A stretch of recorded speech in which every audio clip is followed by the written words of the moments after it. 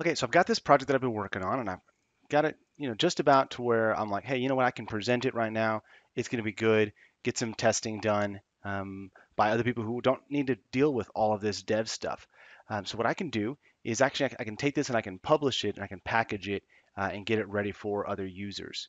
Now, one of the things I need to do is make sure that I change the HTML to index HTML. It just makes it easier. Uh, you can see here with my live server that it is defaulting straight to it. Um, I don't have a slash main.html or anything like that. I'm using index.html. Okay, and we're going to run a few commands in order to get this and just bundle all of this together. It's going to make it easier. And actually, we're going to use Parcel, and Parcel will make it so that we can host everything. Instead of using the live server, Parcel will do it for us, and it'll build automatically on every save. So what we'll do is we're going to go ahead and open up a terminal window. Let's get a new terminal window. Got a bash terminal. Um, now, the way I have this this GitHub um, repository set up is I have JavaScript projects and I'm gonna have multiple folders underneath. So one of those folders, one of these projects is SiteWords. So I'm gonna go ahead and CD over to that one.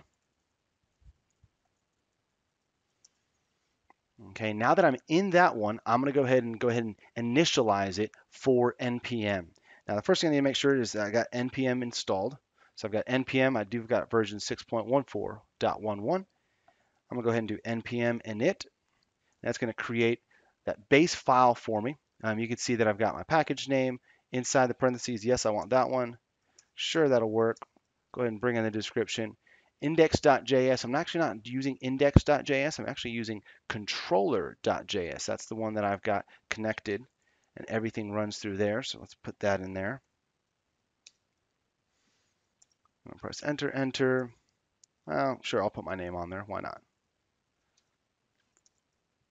All right, does that look good to me? And the answer is yes. We're actually gonna make one change, but we're not gonna do that right now. Okay, so it's created that file. We've got the package over here. And now I'm gonna make that change. I'm gonna go ahead and click on this and I'm gonna change it to default. Uh, and the reason why is we're gonna be using Parcel 2.0 uh, and it prefers it being default. So we've got that changed. I've got this set up. I'm gonna hit save. There we go. And it is set up for us. Now let's go ahead and install parcels. So we're going to go npm i parcel dash dash save dev. It's going to take just a moment to install. It's going to install a couple folders, or actually one folder um, up there. All right, now that that is complete, you actually see that we have a dev dependency. So for development purposes, this is a dependency. We need this to be installed. Um, and you can see that we've got node modules and we've got 5,000 uh, changes. And that's because node modules has a lot of stuff inside there. But we don't want to upload that to Git. We don't want to track any of those changes. We really don't care about that. So we're going to create a .git ignore file. Uh, I'm on this package JSON level, and I'm going to click new file.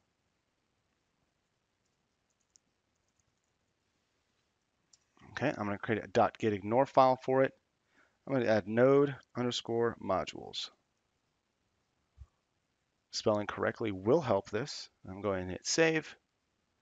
You can see it graded out and it'll take a little bit, but these this number will go down. Okay. Now, uh, one of the cool things about Parcel is that we can create scripts, uh, and we're going to run these scripts using npm run.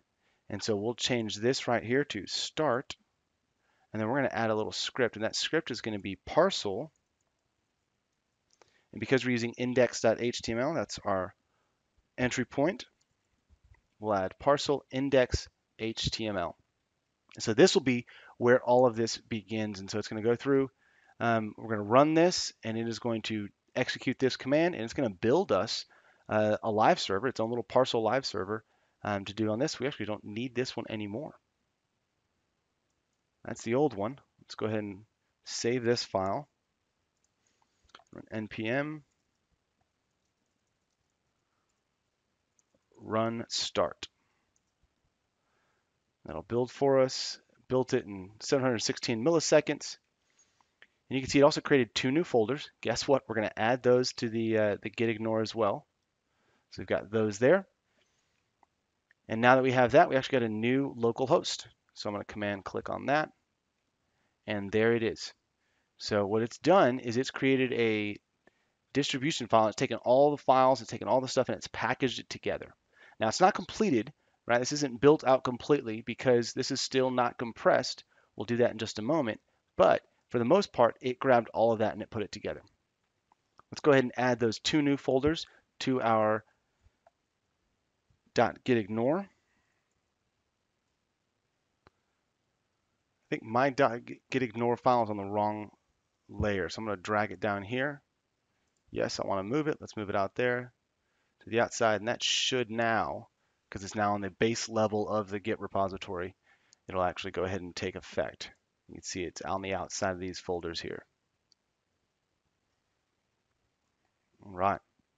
So now that we got that going, we've got this set up, we've got it built, we've got this working, it's looking good. Let's go back to the package over here, and we're going to go ahead and install um, some other dependencies. Now, these dependencies are specifically for making sure that we have compatibility with older browsers. Um, so we're going to install two of them uh, right now. Um, the first thing we're going to do in our terminal is we're going to close this terminal. So we're going to do Control C. That'll close that terminal, or we could also, you know, destroy it and then come back and make a new one. Um, so we've got this one. We'll make sure that we're in our correct site words. Right, we're in that project that we're working on. Um, if you've only got one root level, uh, not multiple folders, you can work from it there. But we're going to go ahead and work from it here. I'm going to go ahead and do npm i, and we're going to do core dash js.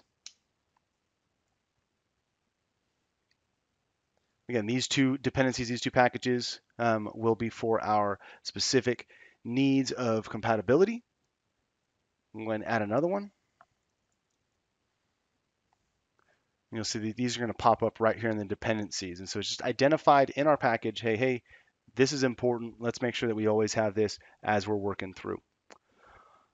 Okay, um, now we've got one more thing that we need to do is we're going to add a build. So when we build, we want to make sure that we give it all the instructions possible. So we're going to go ahead and give it this build task. And this will be helpful when we hook it up to Netlify. So we're going to go parcel build index.html, and we're going to give it some very specific directions. We're going to say, hey, that distribution directory, we want you to put it exactly in this spot.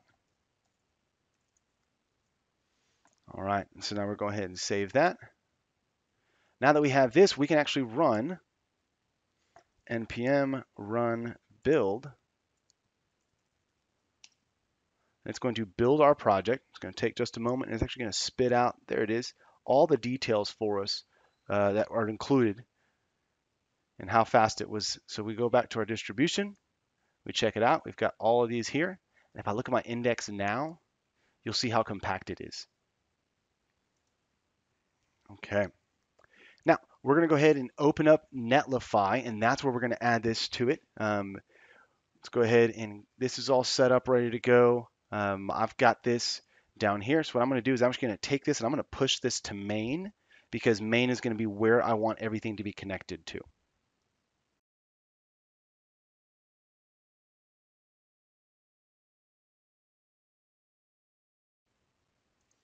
All right, now that I've got it set up in main, let me go ahead and switch over to main.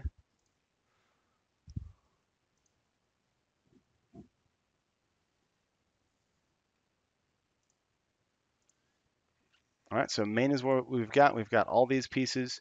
We're not really worried about those because we're not pushing them up. Um, but when we go to Netlify,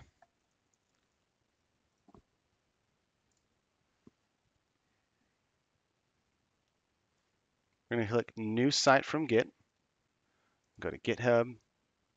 Now, I've already authorized these. You can actually go through if you need to configure more of them. I mean, click on here and says um, another organization or you can search, right? And if you can't find it, it'll give you the configure netlify. So it's all there.